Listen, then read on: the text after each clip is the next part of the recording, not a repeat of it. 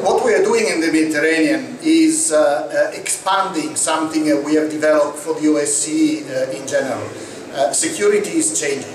Uh, we need new definitions, but also we need to engage with new actors. We need to reach beyond the government, even though the OSCE remains obviously an intergovernmental body.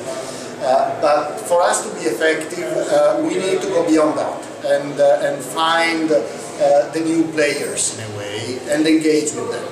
Um, this is why we feel that we need to reach out to uh, uh, get the civil societies engaged, um, to work with uh, research institutes and to create in this way a parallel network that will uh, enrich the debate that we have at the intergovernmental side.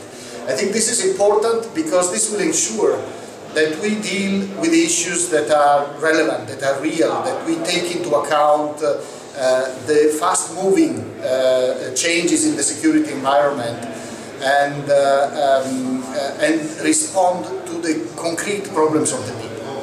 So this is, this is the idea uh, behind this network. This is something that we don't do behind the back of the governments, of course. We do it their full uh, engagement, their full involvement, their full cooperation. And so, and this uh, uh, uh, mix of uh, governmental representatives and civil society representatives will certainly enrich uh, the dialogue and, and will make will make more concrete contribution to the what OSCE has on offer for the Mediterranean dimension.